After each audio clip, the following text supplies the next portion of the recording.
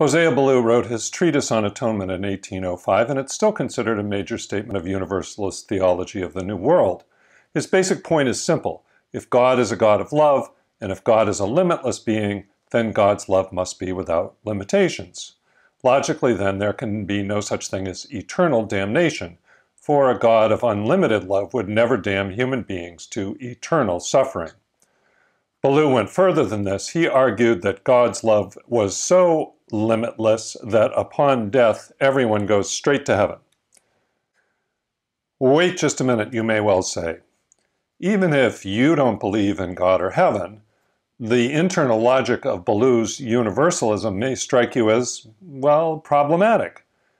Everyone gets to go straight to heaven? What about Hitler? What about slave owners? Thus, the Reverend Dr. Mark Morrison Reed, a Unitarian Universalist minister, makes an obvious point when he writes If God is just and loving, there must be a reason. If there is no reason, one is led to the conclusion that God is neither just nor loving. Jose, Hosea Ballou's ultra universalism, in which all are saved and brought into God's embrace upon death, is silent on this. In fact, it trivializes black suffering. What is the meaning of enslavement if the master and slave are both redeemed? The way black theology answers this question is that God is the God of the oppressed, that God, through Jesus who suffered, identifies with the oppressed and will comfort and lift them up. I don't really have an adequate response to Mark's point. When I worked with Lindsay Bates, longtime minister at the Unitarian Universalist Society of Geneva, Illinois, she and I used to argue about this point in Universalist theology. Lindsay took a middle ground between Mark Morrison Reed and me. She was a restorationist. The restorationists said there were some kinds of evil that must be punished after death. There will be punishment for sin after death, but it will be a time limited punishment. Eventually, though, God will bring us all into harmony with divine love. Lindsay and I never convinced one another, but I always argued for ultra universalism. And I had a couple of reasons for arguing for Hosea Ballou's death and glory universalism. One of my reasons was selfish and one maybe transcendent. So my selfish reason is that I'm pretty sure that under the restorationist model or under the conventional Christian model, I and most everyone I know would have to go to hell. We'd have to go through a term of corrective, purifying punishment. First of all, if you've ever been in any socioeconomic class, from the working class on up in the United States, you have benefited from globalized consumer capitalism that oppresses and exploits workers overseas and here. And you have also benefited from resource extraction around the world that is killing people both here in the US and around the world. It's also killing other living beings. So, here in the United States, given our collective sins against the environment, any conventional reading of sin and salvation would send us all straight to hell. We could draw similar conclusions about other American societal sins. Men who have benefited from patriarchy would go to hell. White people who have benefited from racism and colonialism would go to hell. People who live in suburbs like Palo Alto have benefited from redlining, suburban sprawl, habitat destruction, genocide of Native Americans. They'd all go to hell and so on.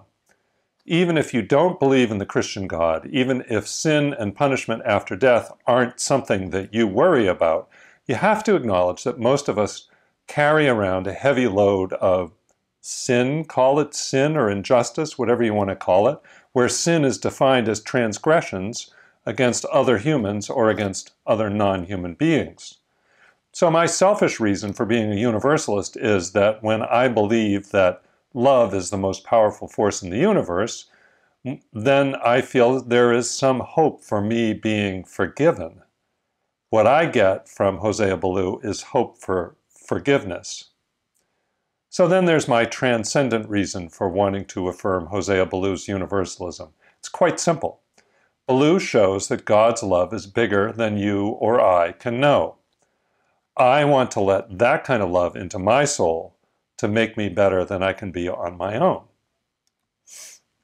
However, Ballou's theology also means that we humans are urgently called here and now to address injustice. That injustice in this world is caused by humans, not by God, and therefore it is up to us humans to end injustice.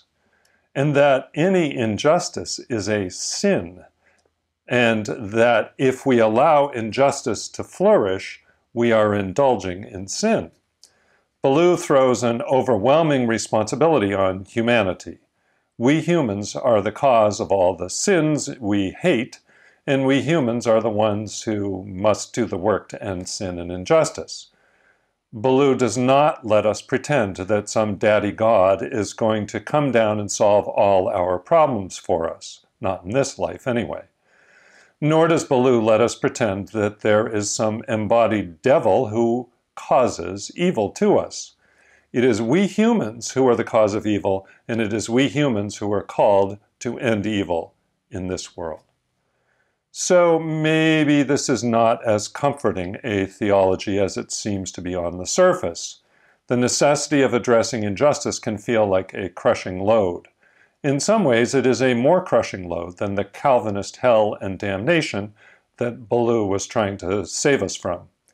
It might be especially crushing when you are the target of sinful injustice and you are watching oppressors benefit from the evil they are doing to you, and you feel like you have to do the work to correct their injustice and sinfulness.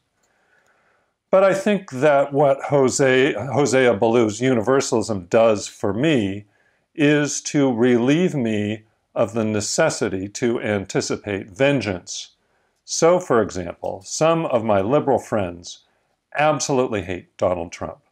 And some of them are consumed by thoughts of how vengeance might be wreaked on him. The, this vengeance may be as low level as having him lose the upcoming presidential uh, election, or it must, might, might be much worse than that. So I can feel the attraction of that line of thought, and I've even headed down that path myself. But I find that dwelling on thoughts of vengeance can be kind of consuming, whereas dwelling on the power of love serves to motivate me and keeps me from getting frozen in place. So, problematic though it may be, I still continue to call myself a Hosea Ballou Universalist.